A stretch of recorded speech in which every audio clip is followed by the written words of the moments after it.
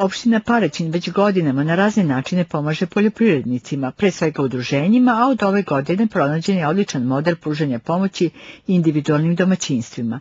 Radi se o konkursima za davanje subvencija. Danas je bio poslednji dan za predaju dokumentacije i po jednom i po drugom konkursu. I po konkursu namenjenom za subvencioniranje udruženja poljoprivrednika koji su registrovani na teritoriji opštine Paraćin, a takođe je bio i poslednji dan za predaju dokumentacije po konkursu namenjenom individualnim poljoprivrednim gazdinstvima koji imaju registrovana gazdinstva u aktivnom statusu 2011. godine na ime subvencije za repromaterijal, a uslov je da su donatori u poljoprivrednim proizvodima Centru za socijalni rad. Interesovanje za oba konkursa raste, pa je ove godine svaki od njih raspisan dva puta. A jedan i drugi konkurs potvrđuju da ima rezultati da su, da su rezultati dobri jer pokazuju u stvari interesovanje poljoprivrednika i po jednom i po drugom osnovu. Po jednom osnovu kad mislimo na udruženja poljoprivrednika, znači njima e, lokalna samouprava pomaže da dođu do subvencija namenjenih pre svega za kupovinu opreme i mehanizacije, što je njima neophodno u procesu proizvodnje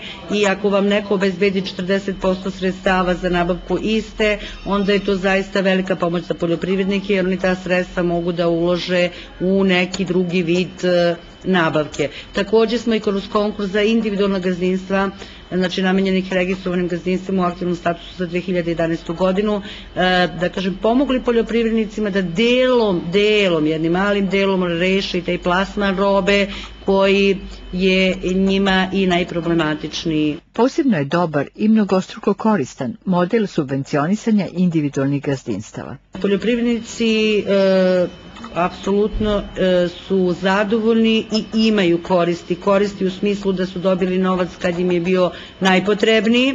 Znači, po, po prvom konkursu dalje delom su rešili e, plasman e, svojih poljoprivrednih proizvoda e, i mogli su da predaju te veće količine na jedno mesto. E, što se tiče Centra za socijalni rad i narodne kuhinje, oni imaju jedan kontinuitet u e, dopremanju namirnica i dobijaju te poljoprivredne proizvode koje su dobrog kvaliteta.